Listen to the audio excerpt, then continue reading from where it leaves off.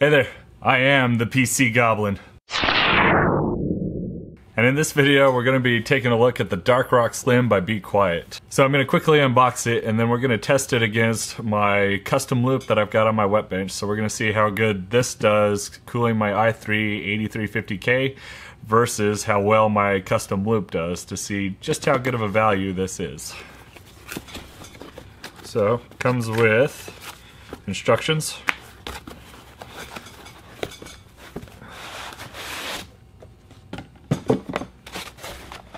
Box. Got foam. Ooh. This is pretty.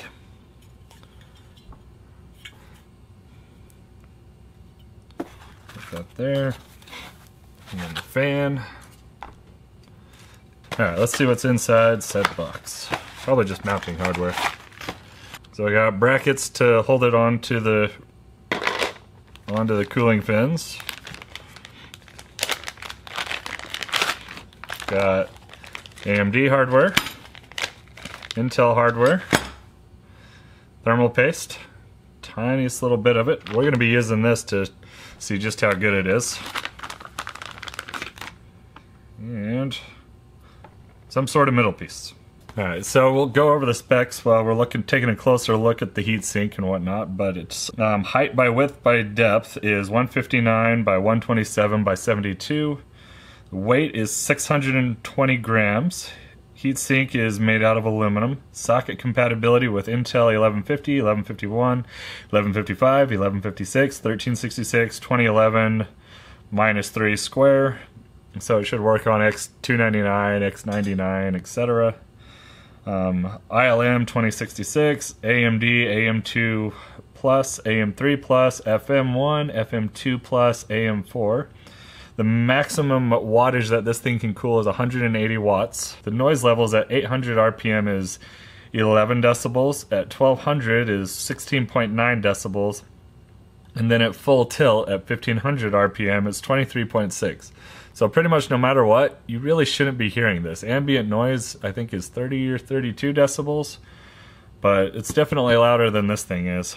The number of heat pipes is 4. The fan is a 120 millimeter fan. Maximum speed on it is 1500 RPM. Like I said earlier, it's a PWM fan. Um, so it's got four pins.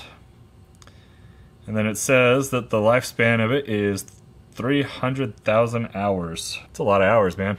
Sorry I'm cut off a little bit, but this is this is the subject. So, if you don't know, fans blow towards the label. So, I'm going to be putting this on the outside to blow air through it. Alright, so just quick note, there's some little rubber pieces on the heatsink. This is what your fan sits on.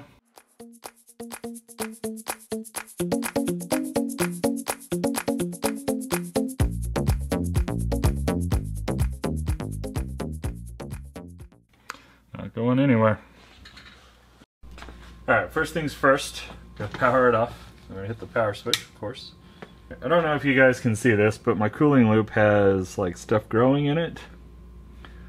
I don't know if you can actually see what's going on, but there's stuff inside this loop that happened because I wasn't using my test bench for months and it just kind of sat there. Yes, it's got biocide and all the chemicals inside of it, so it shouldn't have that, but it does. We're running the test first with the Dark Rock Slim because I want to use its thermal paste with both this and that. If I run it right now, we're using whatever therm thermal paste that I put underneath that back then. So we're going to quickly undo all this, put on the Dark Rock Slim, test it out, and then we'll switch back to it. So I'm going to get started now.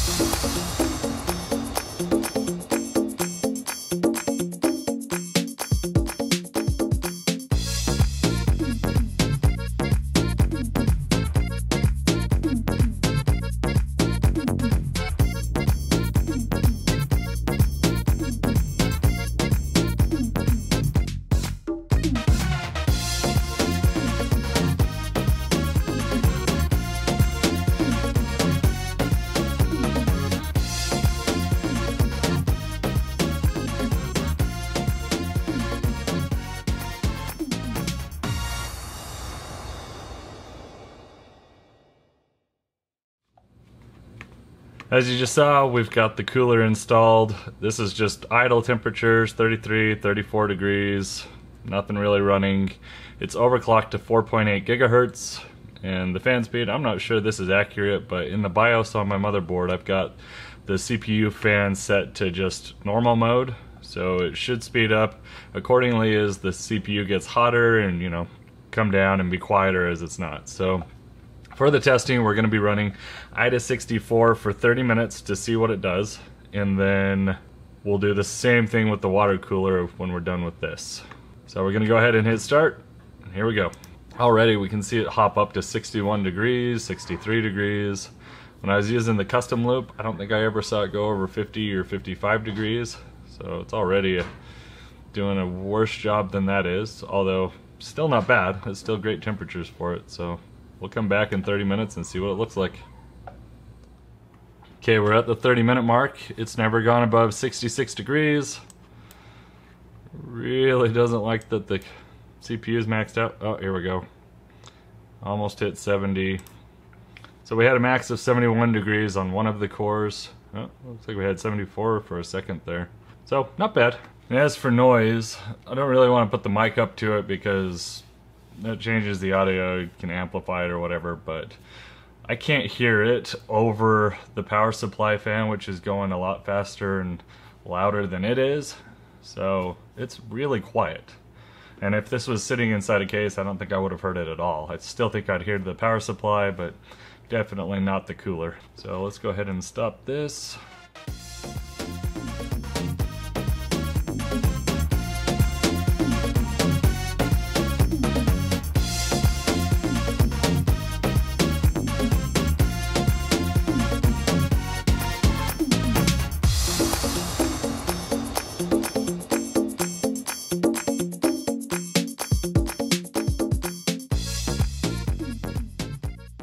Now that we have the water cooling block back on the CPU, we're idling about 32, 33 Celsius, so that's about what we were seeing, well, it's exactly what we were seeing with the other one. So now we're just gonna go ahead and start the test again for another 30 minutes and see what it ends up at. Alright, so we've hit the 30 minute mark, and we're sitting at about 66, 65 degrees. The temperature is kind of all over the place with the water cooling this time around. I think it's due to the thermal paste. Nonetheless, with the same thermal paste and everything, we're seeing about the same temperatures we saw with the Be Quiet. So, minimum of 32, max of 69, so it's a little bit cooler than what we saw with the air cooler. Now that we've got our test results, let's talk about what we saw. Now that we've got the results, there's a few things I want to go over. So the first thing is, I wanted to see just how good the thermal paste is that came with the Dark Rock Slim versus, you know, what you can buy aftermarket. So I put on some Kryonaut, Conductonaut thermal paste underneath my water cooling block and tested it out. And I didn't see a huge difference, but I did notice it did drop it a few more degrees. So on my custom loop, I noticed that it dropped it down to 65 degrees for the max temperature, and it was a little bit lower than that most of the time. It was on those hot spikes that it shot up to 65. So not a huge gain, but there is some performance gains there, and you'll see the same kind of performance if you use it on this as well. So if you want to drop a few more degrees, get the Conductonaut along with this I've got a link to both of these in the description below. But now that we've taken the thermal paste out of the equation, comparing the two, the radiator in my custom loop, it can handle about 800 watts versus the 180 watts that this is rated for. That doesn't mean the custom loop can cool a whole lot cooler than anything else because it can handle 800 watts. What that means is you can put 800 watts of stuff into the system and cool it with that radiator. So you can add in graphics cards and you know even bigger batter CPUs and it can handle that and still give you low temperatures. And that's because there's a difference between capacity versus how low it can drop the temperature. They are related but they are not the same thing. So unless you're going to be adding two graphics cards and a really big CPU to cool with this, which is physically impossible, this thing is going to cool most processors really, really well. And it does it really, really quietly. Like I said, paired with this fan, ah, if I can get that out, Paired with this fan, it made almost no noise. I was really impressed with just how quiet this setup is. Now I can get a quieter setup with a custom loop, but it's really not much quieter and there's a whole lot more complications. So that's just a whole nother win for the Dark Rock Slim. And with what we were testing, we were testing with just one fan. You can add a whole nother fan onto the front of it so you can be in a push-pull configuration and it'll cool a whole lot better than it did already. Well, not a whole lot, but it will cool better.